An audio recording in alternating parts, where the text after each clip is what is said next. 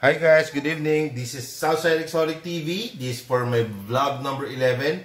Bale, uh, ang title nito is uh, Brachypelma species. Bale, I'm featuring here yung limang common na Brachypelma species na available natin sa market na meron akong na collection, okay? Bale, ito yung limang common, okay? Bale, anim siya. Wala lang akong albo. Brachypelma albo pilosum. So, i-feature natin muna tong mga tong mga ano Brachypelma na species na to, tong lima. Um, pero bago tayo magsimula, ay magsa-shoutout muna po ako ng mga ano ng mga subscriber ko. Please don't forget to subscribe, like and share my videos, guys. Um, this is uh, Southside Exotic TV. Tapos uh, uh, para makuha na natin yung 1,000 ano, 1,000 subscriber para maano na natin yung ano, yung what you this, yung raffle natin na mystery box, okay? So, pag maka 1,000 tayo, automatic, lahat ng subscriber kasali dun sa raffle ko na mystery box. Okay? So, shout out muna kay Ernest Aquino sa ano, kay kay sa ano natin, isang solid subscriber natin si Sir Ernest Aquino. Uh, kay Kuy Smart TV, shout out sa iyo. Uh, Lavi Crep uh, Gilo, shout out sa iyo, Kap. Ayan, tama-tama. Stupor, shout out kay Stupor. Paki ano rin po yung ano niya, no? Share yung videos niya, saka pa kay subscribe. Uh, kay Mark, yung sa Lipa Tarantula Keepers natin. Kay Sir Ricky Lico, Gray Exotics, yan, shout out, Lodi, no? Uh, Shotic, uh, Shotix Exotic Vlog, kay Shoto Exotics, uh, Milf Donaire, Cloud Stripe, Olsen Garcia, uh, Mil Exotics, yan. Kay Tom, shout out Tom, Barber Stare, of course, uh, Gorby Exotics, of course, saka si Allen Arachnolen, ano, kay Arachnolen, Lynch Alba, shout out sa iyo ka, Richmond Discontido, Tom, Andres Go, RJ Claudio, shout out sa inyo mga kap. Maraming maraming salamat sa mga comments saka sa pag-subscribe. Um, then tuloy na natin po ang video niya, ang video na to no. Uh, ito po ay balik parang feeding video pero pini-feature ko yung limang common na Brachypelma species na available natin sa market ngayon. Um, so we're gonna have the first one. It's gonna be uh, Brachypelma emilia. Yan. Yan. This one is uh, adult female. Um, actually, sobrang ganda nito. And napakalaki na rin. Uh, kaya bago ko ginawa tong video na to, talagang nag-ano muna ako ng t-shirt. Kasi makakaranas ako ng isang makating experience. Okay? So, basically, uh, this one's an adult female. Simpleng-simpleng setup. Um, water dish lang. Tapos, um, water dish, then coco peat, medyo tuyo na yung coco peat, kaya natin yan, eh, may maintain natin siya. So mag, mag uh, water tayo ng konti, tapos magpapakain tayo. Balik ka lang. Disa Brachypelia emilia, aka, uh, ano bang, ano nito? Um, nakalimutan ko na yung, ano, yung alias niya. Basta Brachypelma emilia. Um, ano, ano bang ano nito? Nakalimutan ko na. Ang common name ng Emilia is hanapin natin. Brachypelma Emilia. Brachypel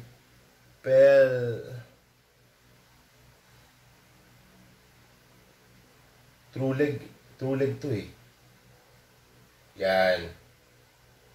Brachypelma Emilia. Mexican. Tama ba? Ba't yun?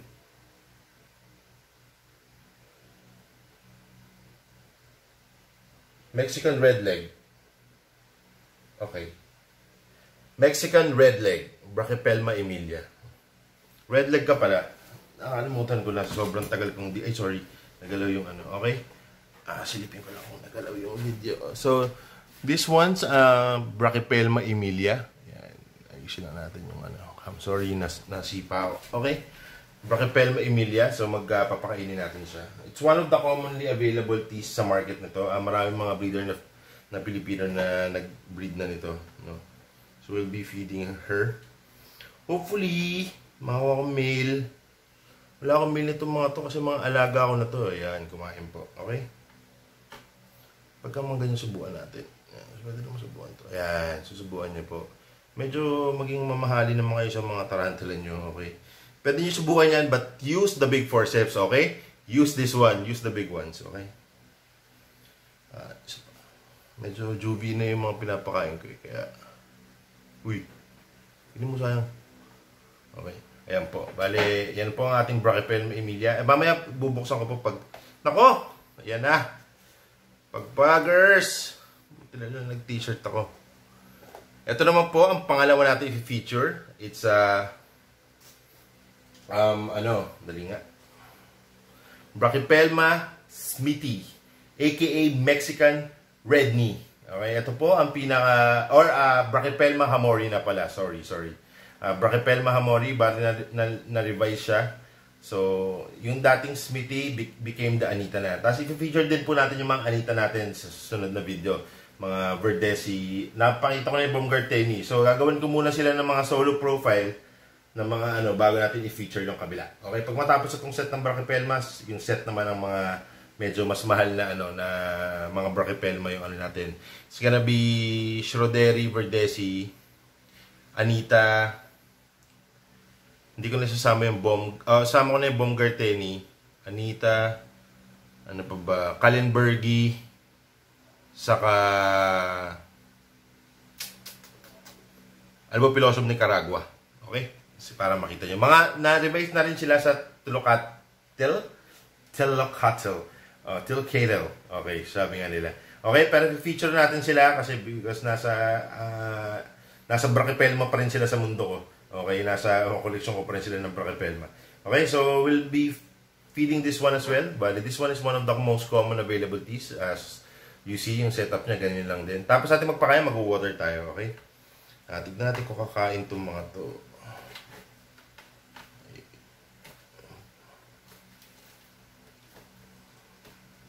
Tagal mahuli. Sir, kain. Ayun. Hindi na pala kailangan problema niya pagpapakain. Subo, subo. Subo, my darling. Yan.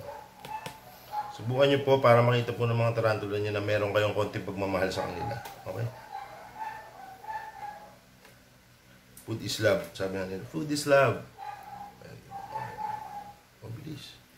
Yan. Walang wala. Yan. Okay? So, tapos na to. Brachypel mas piti. Huwag naman kayo magpagpag, mga sir. Finiture ko na nga kayo eh. Sige, tanggalin natin para medyo ano kayo. Matuwa naman kayo. Okay? Ang sunod natin i-feature is uh, uh, Brachypelma buhimi. Oh, yan. AKA Mexican Fire Leg. Okay? Kita niyo po, uh, ito po yung ano, sub-adult. Sub-adult tong size na to. Kasi hindi ko malabas yung adult ko. Okay? Ito na lang yung nilabas ko kasi ito yung nandito sa akin. Okay? So, this one sa, ayun, aka Mexican Fire Leg, as you see, ang layo niya dun sa Bumgarteni, di ba? Yung kulay ng legs niya. Saka mas makapal yung ano niya, yung sitay. Kapal ng sitay. Okay? Tapos yung carapace niya, pag mag-adult siya, magiging orange lahat. Di katulad ng bomb na ano, na, ang tawag dito, na may, may black. Okay? Yan. So, sa kamalayo-malayo yung itsura niya, ito talaga orange talaga yung paa nito eh. Okay, yung isa parang light brown. Saka, mas bulky sa tignan kaysa sa bomb. Okay? Ayun. So, we're gonna feed her as well. So, yan, pakainin natin. So, kumain. Ayaw kumain. Busog. Busog. Ay, nako, sir. Sige po, yan na po. Kung bugbayaan niyo siya huwag kumain. Iwanan na po natin siya. Huwag na po natin siya istorbohin. O sige, dyan ka lang. Huwag kayong tatawid ha. Magkakainan kayo. Okay. So, yan po ang ating ano, Brachypelma bohemi. At ito po ang sunod na commonly available sa Pilipinas. Ang tinatawag nilang Brachypelma vegans. Ito po ay ang original na vegans. Yung vegans na to came from import. Hindi po to na-cross o ano o shit na nangyari katulad ng mga ginagawa ng ibang tao. This uh, actual vegans. Uh, this one sa sub-adult as well. Um, sub-adult to adult. Pero ang vegans, lamalaki pa to eh. Kitang-kita nyo naman po yung ano, yung itsura. Talagang orig na orig na vegans, di ba? Nakita niyo yung medyo yung reddish na sitay niya sa ano, sa sa abdomen, di ba? Saka yung patterns niya sa knees sa patela saka sa sa second segment ng ano ng legs. Okay? So this one's the Mexican red rump. Yan ang common name niya. Kaya na-revise sa mga Tilocatil na, na, na-revise nito sa Tilocatil vegans. Kasi unsure din sila. Okay? Kasi iba yung mga hobby form na lumalabas eh. But uh, this the this is an import. Uh, this was originally ano, an import. So from sling to ano to to adult. Kasi ang ginagawa po namin pag ano, pag na minsan pag may import, tinatabi namin yung mga katulad ng mga ganitong species, kumukuha kami. Para an, eh, tinatawag po kasi nila yon na ano, na yun kumain ng ano, yung fire leg. Tinatawag po kasi nila to na ano na tinatawag na namin na F1, parang original na breeding. Kasi mas sig- sigurado kami kasi mahirap kumuha ng ano eh dito eh, sa Pilipinas medyo uh, naloloko yung iba kinocross or something. So wala akong tiwala sa ano. Kaya hindi ako kumukuha ng species sa ano. Kumukuha ako ng mga breeding, kumare GBB, mga ganyan. Kumukuha ako ng mga ganyan, mga poke regalis, mga ganyan. Pero alam ko yung pinanggalingan ni ano na legit talaga sa so, matinong ano breeder. Mahirap po kumuha sa mga ibang breeder, lalo na pang hindi nyo kilala. Medyo tas bulk bulk yung ano binebenta nila, mahirap. Kaya mga bumibili sa internet, ingat-ingat po kayo, okay? Dahil alam nyo, marami manloloko. Huwag naman sana kayo maano, di ba? Pero sana tiwala kayo sa bibilan nyo. Saka trust, kilalang seller. Okay? So, this one's gonna be the Mexican uh, red rump. It's a uh, Telocatil vegans or uh, or ex Brachypelma vegans. Okay? Uh, this is one of the commonly available tea sa market natin ngayon. So, feature ka lang. Okay? Pakainin natin pala. Sorry. Ano, na.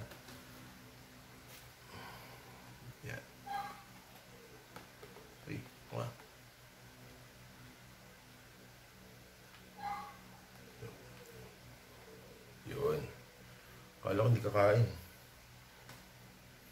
Pa. Ako, sir. Sir, galit yata kayo lahat. Pagpag na naman. Yan. Uh, ito po nakikita nyo sobrang laki.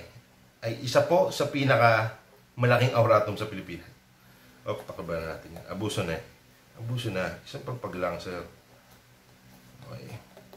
This is one of the biggest auratums in the Philippines. Okay? Um, this one, kung nakikita nyo, this one uh, goes around 7 inches. Yan, 7 inches yung laki. Okay? Uh, leg span, leg span to. Medyo malaki tong isang to. Um, yung Smithy na to, malaki din to. Na ano, no? Pero itong, itong auratum na to, medyo sobrang laki nito. Okay? This one's an XL. Okay, yung tinatawag nyo, XL na auratus to, auratum to, okay? Uh, this one is a Brachypelma auratum, aka Mexican Farney. Okay?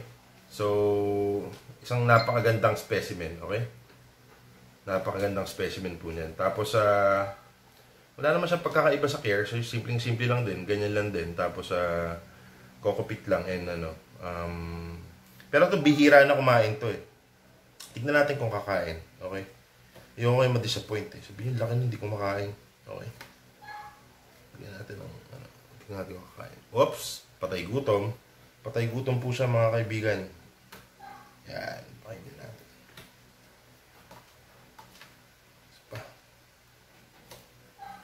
Ito malaki-laki. Kain ka. Yun. Ganyan po kumain yung mga yan. Medyo aggressive. Isa pa. Papakain kanya, pag ganyan kalaki, tatlong lats, yan, apat na lats, kakain po yan. Basta pag nakita nyo kumain, na ano, kakain po yan sunod-sunod.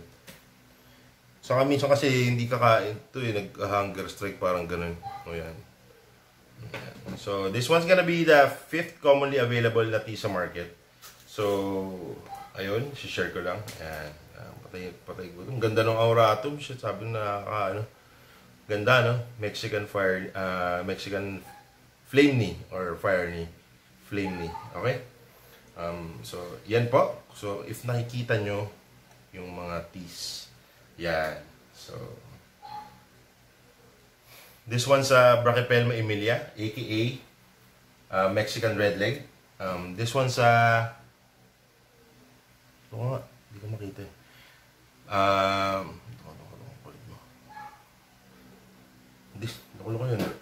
This one's uh, Brachypelma hamori, aka Mexican, uh, ano nga ba yun?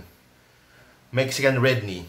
Uh, Mexican red leg, Mexican red knee, um, uh, Mexican, ito, Mexican, Nakalimutan puro Mexican. Mexican Red Ramp, Mexican Flame Me, at uh, Buhimi is uh, Mexican Fire Leg. Okay? So, i-cover ko na po. Medyo makati na po sila. Bago natin gawin yun, eh, tubigan mo. Ano ko, wala pa tayong pang water. Okay? Mamaya ako natutubigan. Magme-maintain naman ako. So, guys, maraming maraming salamat sa panonood ng video. Huwag niyo pong kakalimutan tubigan. Tutubigan ko to. Hindi ko na lang tutubigan ngayon kasi medyo nagpapagpag na sila. Pero at least silang lahat ay lumalamon. Uh, actually, pwede pa natin sila pakainin. Um, maglagay pa tayo ng ilan. Kakain naman itong mga to. Tulad yan. Yun. Pakain lahat dyan mga sir. Okay? Yan. O, di ba? So, pakainin lang natin sila ng pakainin. Tandaan nyo, huwag nyo lang masyadong ipapower feed. Ako naman po, kaya ako nagpapakain ng ganyan. Kasi, bihira po ako magpakain. Okay? Siguro, mga to mga 3 weeks na, 4 weeks na hindi kumakain. Okay? Kaya po, ganyan na lang po sila. Ganyan po nila kamahal yung mga lats. Okay? Gusto nila lips to lips. Pakain tayo. Huwag tayo maging madamot. Okay? Be, ano, generous pag magpapakain. Kasi kung one time lang kayo magpapakain, hindi magpakain na kayo, di ba? Naman patay gutom. Okay? Patay gutom na, ano, patay gutom din yun. Okay? So, that's gonna be the video, guys. Please don't forget to subscribe, like, and share my videos. This is Southside Exotic TV. Ako po yung magpapaalam na dahil medyo makati na. Okay? Maraming maraming salamat po. Ah, bale, ipo-profile ko po itong mga to, araw-araw din, iba-iba na lang, pag-iiba-ibahin ko sa kanila para hindi sunod-sunod na Brachypelma. Um, kumare, baka bukas, Genic, o tapos isusunod ko yung isa, tapos yung isa bukas, Calciatum, isusunod ko yung isa, tapos mag-feeding videos ako ng mga Cambridges. Ganun po yung gagawin ko. Tapos mag-feature ako ng mga ibang Teraposa. Yung tatlong yung Big 3, i-feature ko rin. Tapos mga Pampo, i-feature ko rin. So, para makita nyo lahat ng ano, para almost every day meron tayong ano, uh, uh, meron tayong profiling, tapos may feeding videos tayo. Ito po, parang basic, ano, basic brachypelmas na available. Um, yung pang-anim, anim talaga to eh. Meron pang isa albo, kaya lang wala po akong albo. Meron ako Nicaragua, kaya lang maliit pa. Okay, hindi wala dito yung malaki kong Nicaragua. Okay, so ang gagawin ko po is, uh, anim talaga yan, pero i-feature ko na ito lima na makulay sa isang itim. Okay, nasa Tilocatlin na rin naman ang Albo Piloso. Malam ko eh, Brachypelma pa rin ba? Alam ko nasa Tilocatlin na eh, ka-genius na nitong isang to eh. So, ka-genius na ng vegan. So, ang gagawin ko is, baka iwalay ko na lang. Oh, dapat kaya Baumgarteni na nilalagay ko dito eh. O, para kompleto na sila, di ba? Sila lang yata yung may ano eh. Hindi Tilocatl eh. Saka ano pa ba? Parang yun lang eh. Yun. So, i-feature ko rin sila um, yung Anita, saka yung Anita, yung Anita kasi isasabi ko dun sa kabila eh. So, ganun na lang. And uh, I hope you guys like the video. Please don't forget to subscribe, like, and share my videos. This is Southside Exotic TV. Uh, magpapaalam na po ako sa inyo mga kapwa, no? Bye-bye! Ciao!